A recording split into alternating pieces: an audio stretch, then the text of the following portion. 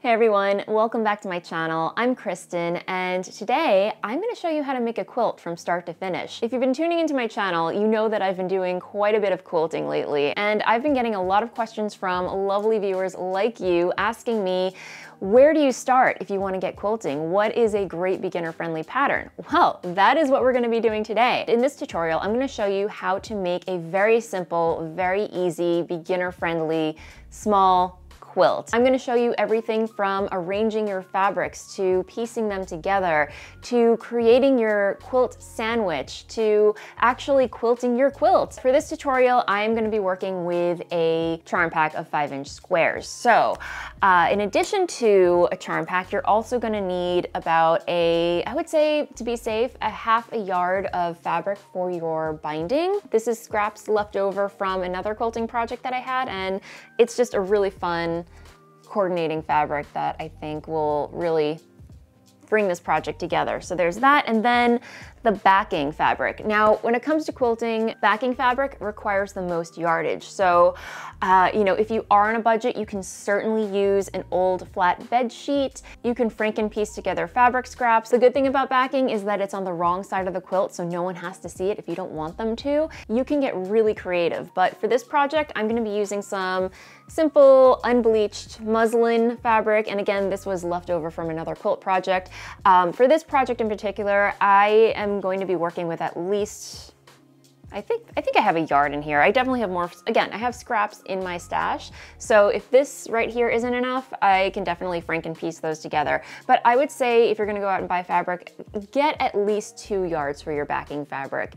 Um, if you have any left over, you can always incorporate that into another project, which is really cool. That's how you build your stash uh, and your scraps. And you can always work those into new projects, which is which is, let's face it, half the fun of quilting is working with your scraps and creating something entirely new. So that's it for fabric. Um, but the most, probably like one of the key features of a quilt is batting. And I have this batting right here. It's by Mountain Mist. It's 100% polyester. And again, batting comes in many different blends of material. So you have your polyester blend, you have your cotton blend. I've used batting that has silk and bamboo blend. It really comes down to the fabric that you're using, but if you're just using regular quilting cotton, some polyester, or regular cotton batting is fine, uh, especially if you're just getting started. So again, this one I picked up off of Amazon for about $13. Um, you know, it's washable, it can take a lot of wear and tear, and it's crib size, so 45 inches by 60 inches. Uh, and I will leave links to all of these materials down below where you can find them.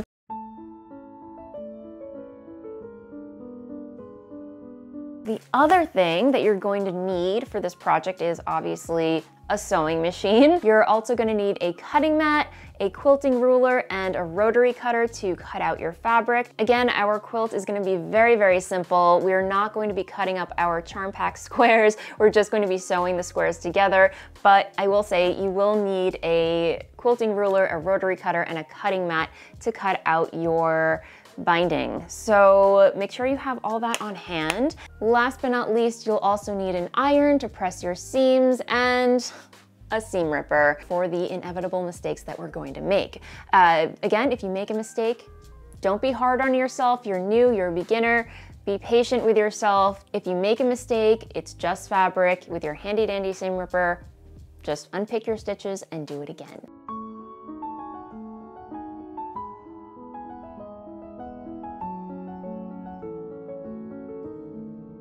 All right, my friends, once you have all of your materials gathered, it's time to get quilting. Are you ready? Yeah? Yeah?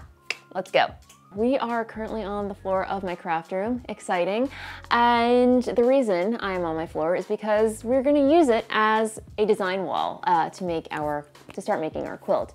Um, you can certainly use a dining room table, you can use a kitchen island, you can use a, a design wall. Uh, I have one over here, but for all intents and purposes, I know not everyone has a design wall. Mine is quite small. I honestly prefer working on my floor. If you flip through your charm pack, you'll notice that there are some darks, there are some medium shades and there are some lighter shades. So the first step is to go through your charm pack and separate the lights from the darks from the medium shades. And then we'll start arranging our fabric from there. Looking at my pile, I noticed that I have mostly darks and half the amount of mediums and half the amount of lights. So what I'm gonna do, I'm just gonna combine my lights and mediums together. So now I have an equal pile of darks and an equal pile of lights and darks together. Your mileage may vary, do whatever feels right to you, but from my personal preference, I think what I'm gonna do is I'm just going to checker,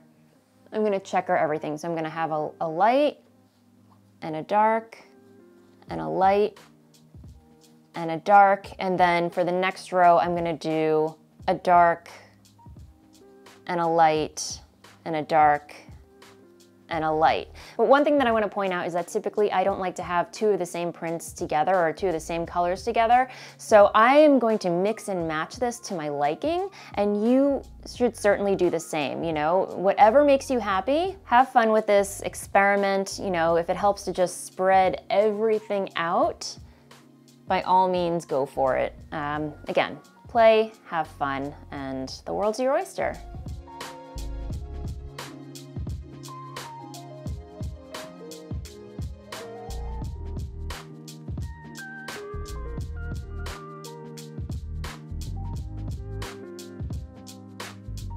I have finished arranging my squares and yeah, this is what is making me the most happy. Uh, you can see I kind of started with some pinks at the top and kind of faded into the blues down here, uh, casually alternating between lights and darks and mediums, uh, just to get a nice mix. Charm packs traditionally come with about 42 squares, so ideally you should have six squares going on one side and seven squares going on the other side for a total of 42 squares. So now that I have all of my squares arranged and I'm happy with them, I'm gonna start piecing them together. And the way we're gonna start piecing our quilt together is to go row by row. So I am gonna start at this row right here and start pinning these together at the edge, like so.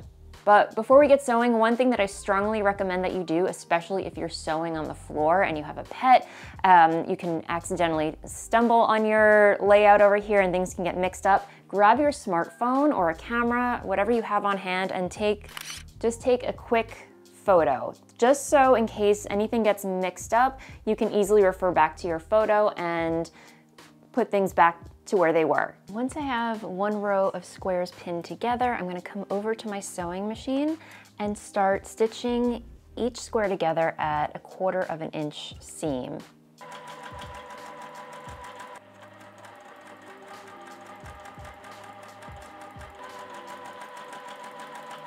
Once we have our first row of squares sewn together, we're gonna go over to the ironing board and press our seams. When you're pressing your seams, typically you want to press to the dark side. Uh, if you don't have a dark or light side, do your best to press your seams all the same direction. All right, we have our first row of squares pieced and pressed, and now we're ready to move on to the other rows. So we're gonna repeat the same steps that we did for this row for all the other rows of our quilt top.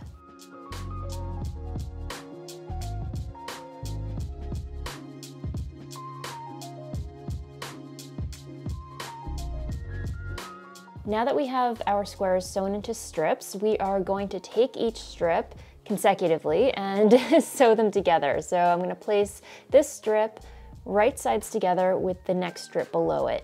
And you can pin them together, but we're gonna take this back over to the sewing machine and we're gonna sew these strips together at a quarter of an inch seam allowance. Remember how I said to sew your seams in the same direction? Well, that is going to help us out with this next step. So you see when you, uh, right now I have two strips with right sides together, but because they're reversed, the seam on one strip is now facing that way or pressed in that direction, and the seam on the other strip is pressed in that direction. So that's gonna help us align our seams perfectly. I don't know how you can see that, but if you lie the pressed portions on top of each other and kind of like squeeze it between your fingers, you're gonna feel those seams snap into place.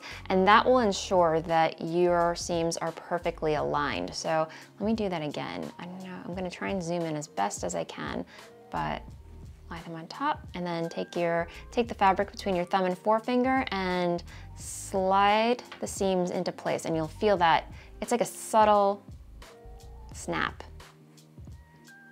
Like a subtle little snap. There we go. And now our seams are perfectly aligned, and you can take a pin and pin that in place. And we're gonna do that for all of our seams here. And if your, if your stitch lines aren't perfectly aligned, that is completely okay. Quilting cotton is very forgiving. It has a little bit of give to it, so you can kind of stretch your fabric gently into place. But let's say both of your seams are pressed going in the same direction when they're lying together. It, that, that's completely okay. You can certainly just eyeball it and, you know, if it's, if it's slightly misaligned, it's not the end of the world. Again, you're just getting into it. This is practice.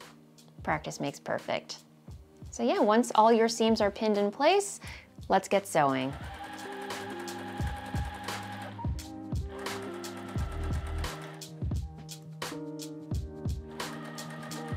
Okay, next up is once again to press our seams open. And you'll probably want to do this using a, a, regular sized ironing board and iron, but for this tutorial, this will do.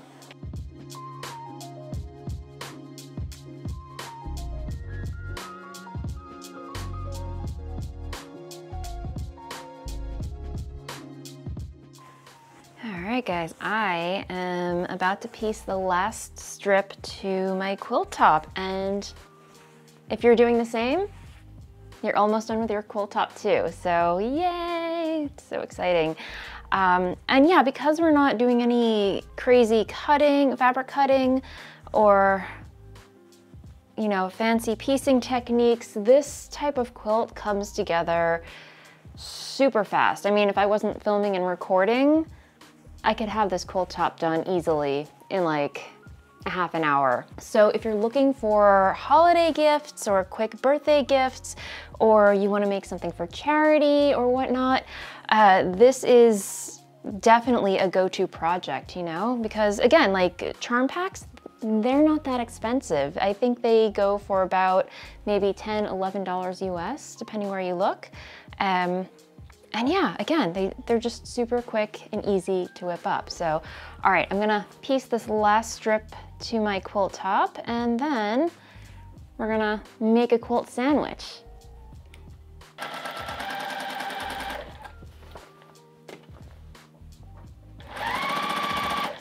And if you need to stop and adjust your fabric, that's totally fine. Take your time, be patient.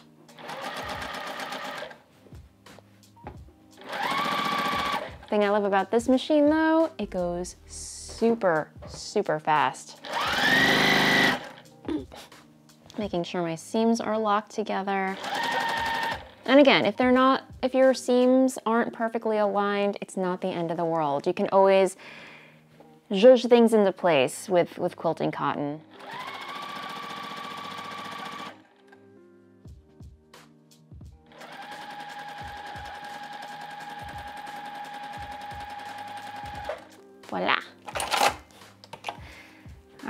Right, I am gonna give this a quick press and then we're gonna go and make our quilt sandwich. All right, now it's time to assemble our quilt sandwich. So I have my backing, we're gonna start with that. And I would advise to make sure that your backing is pressed as well because any creases or folds or wrinkles can result in folds or wrinkles when you are when you're actually quilting the piece. So make sure that it's nice and pressed. Then we're gonna grab our batting and lay that on top. Um, this you don't have to worry about pressing, but you know. Uh, and as you can see, this is slightly larger than my backing, which is completely okay. And we're gonna grab our quilt top and lay that down smack dab in the middle, like so. Beautiful, and you know, you can get down on your hands and knees and smooth this out. And again, you can totally do this on your kitchen table, countertop, dining room table. I'm just using the floor because it's easy and convenient for me, but do what's best for you. Next, we're gonna grab our basting pins, and you can get these easily on Amazon, and what basting pins are, basting pins are essentially safety pins with a slight bend in them to make it easy to dip in or hook in under all three layers of fabric and back out again. Uh, you can also use basting spray. Basting pins are just a personal preference, so use whatever you have handy. And taking our basting pins and starting from around the center, we're just gonna start pinning our quilt sandwich together. I'm gonna grab a couple of these. And you can do these at random, every other square. Just keep it nice and even, if you will. And what basting your quilt does is it keeps your quilt sandwich together when you're quilting it and prevents things from shifting around. Now just to make our lives a little bit easier, let's trim our sandwich down, leaving, I would say like anywhere from like an inch and a half to two inches overlap from, or overhang from your backing and batting. Now, to quilt our quilt, we're simply going to top stitch a quarter of an inch away from all of our seams. I recommend using a walking foot for this step to help feed the fabric of your quilt sandwich through the machine evenly. If you don't have a walking foot, you can use a standard presser foot, but you may encounter tucks like this. But if this happens, don't worry, it's not the end of the world. After you wash your quilt for the first time, it'll barely be noticeable. So go slow and take your time, making sure all your fabric layers are flat and even. You can even roll your quilt sandwich up on itself along the harp or throat of your machine to make things more manageable. When you're done quilting your quilt sandwich, remove any basting pins and trim off the excess batting and backing fabric. Now it's time to bind our quilt. We're almost done, everyone. All right, now we're gonna cut our binding pieces. And sorry guys, the late day sun is shining through my, my blinds. Uh, but yes, so here I have about maybe a quarter of a yard, and that is more than enough than we need for our tiny, teeny tiny little quilt. Okay, so we have width of fabric, folded together. We have selvage to selvage. Um, I'm gonna fold this again one more time. So the fold to the selvage like so, and then rotate this like such. And you know, you wanna make sure things are relatively even. However, if your edges are not perfectly aligned, that is perfectly fine because we're going to true things up. So I'm gonna line things up here on my cutting mat, making sure that my folds are at least aligned with the lines on the cutting mat. Um, I'm gonna grab my ruler. Whatever quilting ruler you have is fine. Uh, I am currently using a two and a half inch by uh, 18, what is this? 14 inch by two and a half inch ruler. Um, which is perfect because we're going to be cutting two and a half inch strips. So I am just going to true up that edge right over here, like so. And if this is your first rodeo using a rotary cutter, please, please, please be careful. If you're not using your rotary cutter, make sure the safety is on. Um, and if you're using your rotary cutter, be careful. Um, so because I'm using a two and a half inch ruler and I'm sort of ambidextrous, I am going to leave my ruler where it is. Um, and that just shifted, but that's fine. And cut a two and a half inch strip like so. And I think for this project, we only need four strips. But because I don't have much yardage left, I'm just gonna go ahead and cut out as many strips as I can because I can always use that for another project, right? Am I right? Yeah. Okay, I got six strips out of that. Definitely more than enough. Um, and I am just gonna line these up and unfold these. So I have my selvages here, like so. I can even just lay them on top like so. And I'm just gonna cut those selvages off. And yeah, just, you know, making sure things are relatively straight, like so. I can just chuck that in. What you're gonna do is take one strip and lie it down horizontally. If you're using a print, make sure the print is facing up, facing you, and then you're gonna take a second strip. The print must be facing down and lie it on top of the horizontal strip. So you have an L or a right angle right now. And now what you're gonna do is you're gonna take this over to your sewing machine and draw a diagonal line from this point to this point. You may find it helpful to pin this in place and also take a ruler and draw a line like so to help guide your needle across. And that in turn will create a bias fold like that. And then you'll press it and cut off your extra fabric and you're going to repeat these steps for every subsequent strip. So let's get started. And I'm just gonna lower my needle onto that line that I just drew and then slowly follow that line all the way to the edge.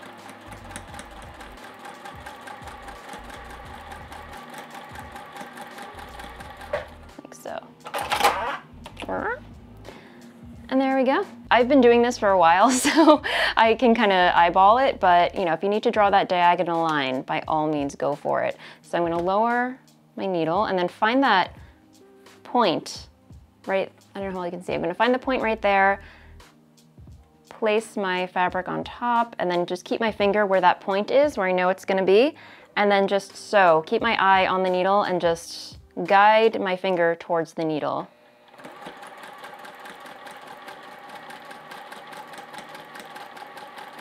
Then obviously take your finger away and voila.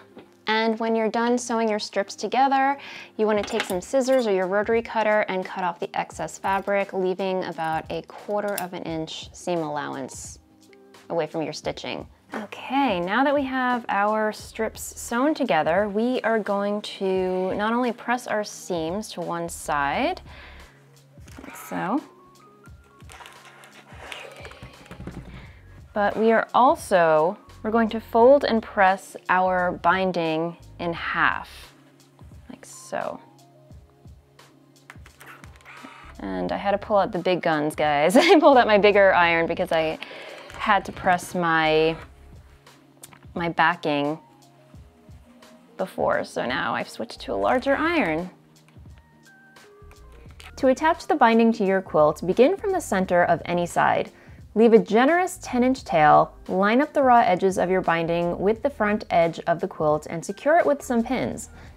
Now, using a regular presser foot, sew the binding to the quilt with a quarter inch seam allowance. Continue sewing along the edge, stopping about a quarter inch away from the corner. Now, pivot your quilt 45 degrees and sew diagonally towards and off the corner.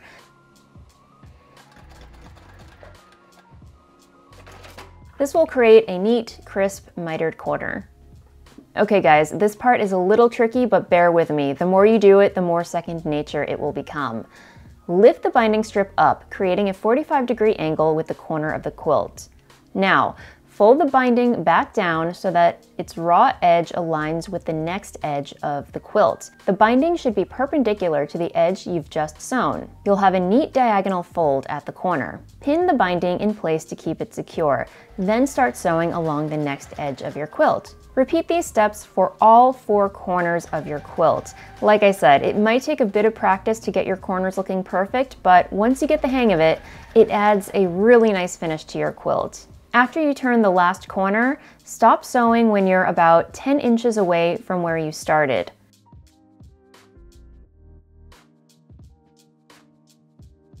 Trim the excess binding, making sure it overlaps the starting point two and a half inches, or however wide you cut your binding fabric.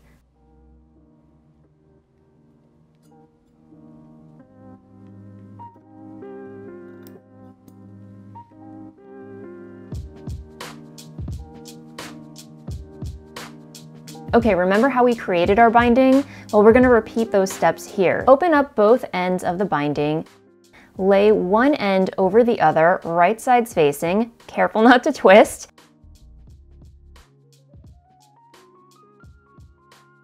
You can mark a diagonal line from corner to corner to help you, or you can just eyeball it like I'm going to do here, where they overlap. Sew along this line and trim the excess fabric. Refold the binding, pin in place, and complete sewing the remaining gap. If you made it this far, congratulations, you are in the home stretch. We are almost done with our quilt, um, and that is just tacking our binding down to the back of our quilt using a whip stitch. And you know, if you don't know how to do a whip stitch, I will leave a link to a tutorial for that in the ether up here or a link to it in the description box down below, but super, super easy, very basic stitch.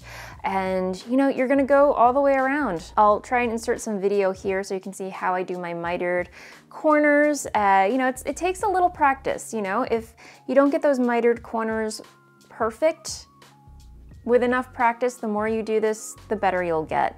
So just keep at it. If it's not entirely perfect, don't worry about it.